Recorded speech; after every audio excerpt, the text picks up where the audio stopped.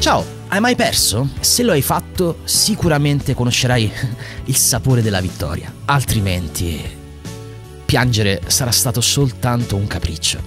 Posso accettare di fallire, chiunque fallisce in qualcosa, ma io non posso accettare di non tentare.